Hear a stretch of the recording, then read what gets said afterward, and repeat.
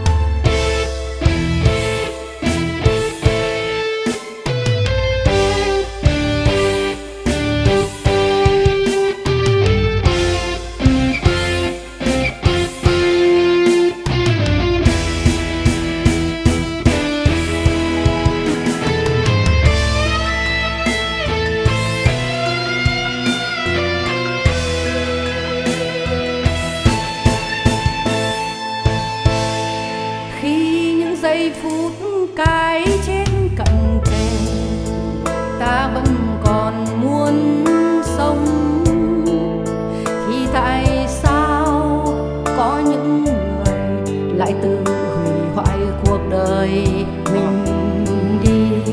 Cuộc đời ma túy năm mười lần vào tù thì còn có làm lại cuộc đời được không?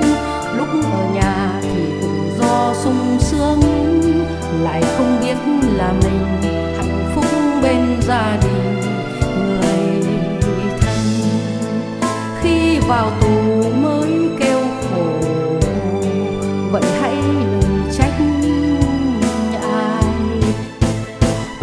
sướng khổ